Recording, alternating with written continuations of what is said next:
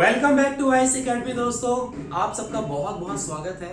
और सबसे पहले आप लोगों को दिवाली की बहुत बहुत शुभकामनाएँ। जानता हूँ यार लेट कर रहा हूँ। दिवाली में मैं ही बहुत ज़्यादा बिज़ी था।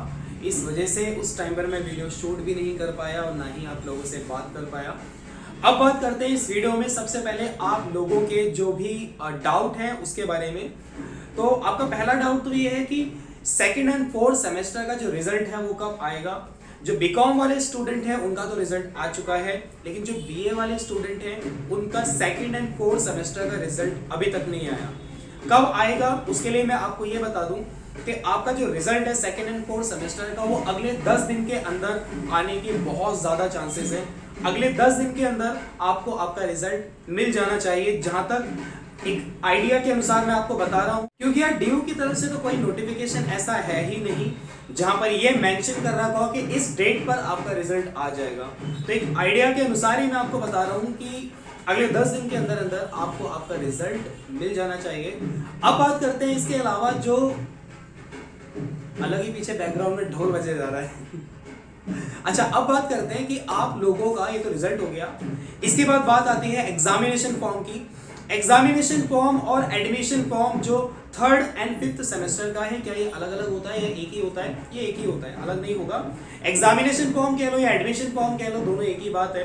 और ये एग्जामिनेशन फॉर्म और एडमिशन फॉर्म भी जो आपका, वो भी अगले दस दिन के अंदर अंदर आपको इसका लिंक जनरेट हो जाएगा आपके डैशबोर्ड पर। क्योंकि अभी जो लिंक बच्चों को शो हो रहा है, वो सिर्फ़ बीकॉम वाले स्टूडेंट हैं, उनको हो रहा है। लेकिन जो बीए वाले स्टूडेंट है, उनके लिए डैशबोर्ड पर ऐसा लिंक नहीं आ रहा जहाँ पर वो अपने एग्जामिनेशन फॉर्म को फिल कर सकते हैं। तो जैसे ही उसका लिंक आएगा, जैसे ही कोई भी नोटिफिकेशन आएगी, मैं आप लोगों को बता दूँगा।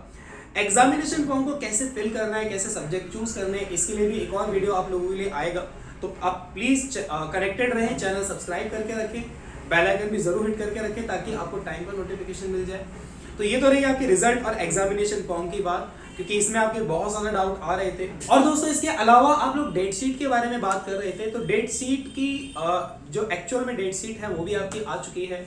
डेट शीट का लिंक मैं डिस्क्रिप्शन में मैंने दिया हुआ है तो आप वहाँ से देख सकते हैं, वहाँ से आप डेट शीट डाउनलोड कर सकते हैं।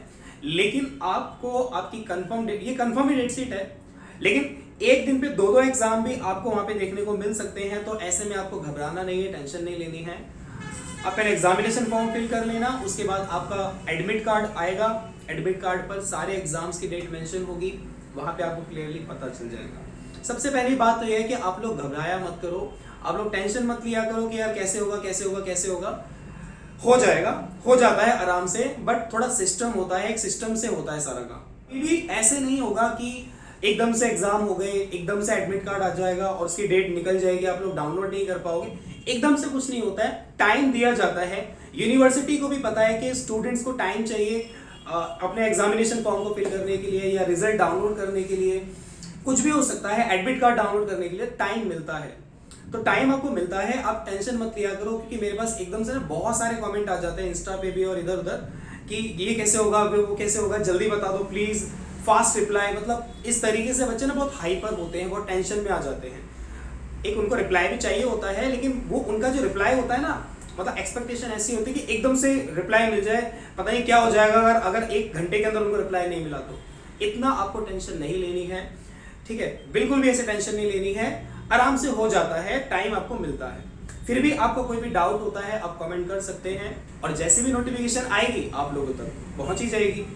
तो मैं आपसे मिलता हूँ अगले वीडियो में। अपना ख्याल रखना। Wish you all the best